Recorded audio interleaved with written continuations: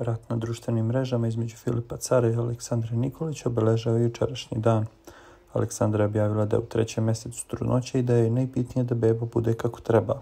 Nikolićeva je raskinula sa carem veritbu, a kao jedan od razloga navela je njegovo neverstvo, što očigledno nije sve.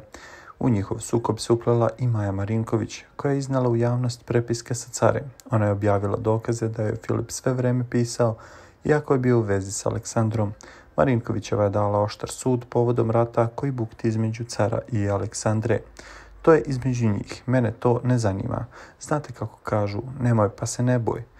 Ja sam njoj nemam apsolutno ništa, a sa njim je već druga priča i mislim da je svima jasno da sam ja rekla istinu, što sam i dokazala. A oni neka sada se dave u svojim lažima. Ja ne želim da budem deo tog cirkusa, poručila je Maja za Pinkeres.